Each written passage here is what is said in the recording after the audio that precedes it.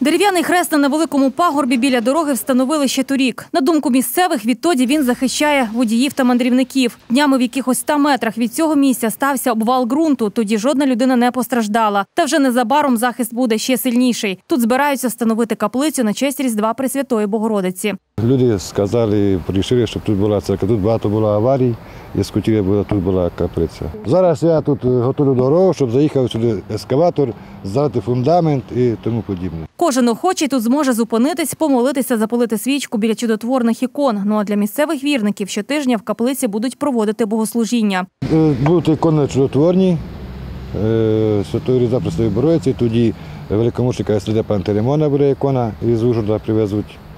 І буде е, розміром, каплиця буде 9 на 3 кожної неділі утрення літургія.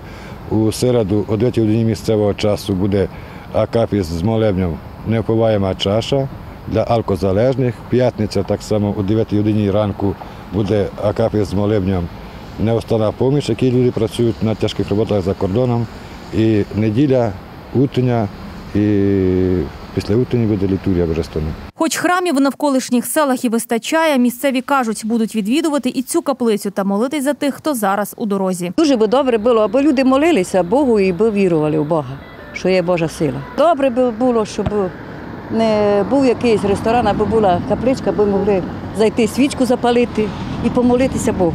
Зараз дорогу до майбутньої каплиці підсипають щебенем. Перевезуть її з дубового. Як сподівається її настоятель, першу службу тут проведуть уже у найближчі тижні.